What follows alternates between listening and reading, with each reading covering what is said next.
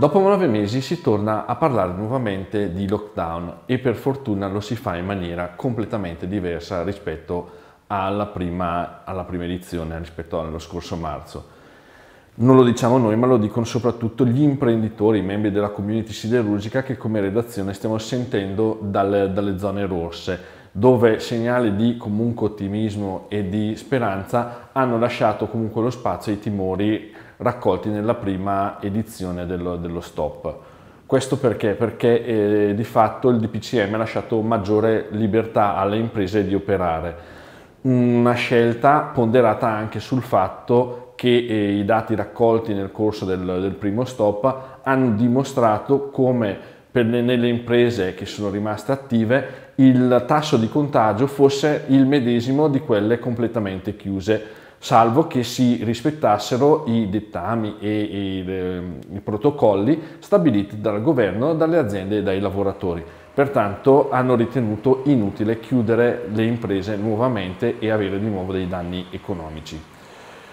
Inoltre questa volta è completamente diverso anche perché a fermarsi è stata tutta l'Europa più o meno in contemporanea, per cui sono svaniti anche quei timori raccolti nelle prime giornate di fermo di una possibile sostituzione dei clienti, di, dei fornitori italiani con, con, degli altri competitor, per cui di fatto tutta l'Europa rallenta, tutta l'Europa è in lockdown e questo mette tutti sul medesimo piano. Sebbene dal punto di vista eh, logistico, operativo, le problematiche siano praticamente inesistenti, se non salve qualche raro caso,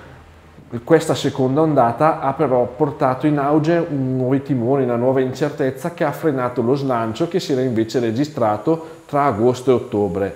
E questo è un fenomeno di cui eh, non si riesce a capire bene eh, l'entità, almeno non è, non è quantomeno ancora misurabile, quindi bisognerà aspettare ancora qualche settimana per capire effettivamente questa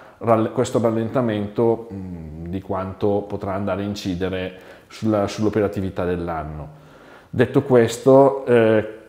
mh, proprio alla luce di questa incertezza ancora, solo fino a quando non arriverà un vaccino, le voci si stanno rincorrendo negli ultimi, negli ultimi giorni, mh, probabilmente non si raggiungerà quel clima di serenità necessario per raggiungere il vero rilancio e liberare quelle energie positive che ogni crisi porta ad accumulare per poi sbloccarsi una volta finita.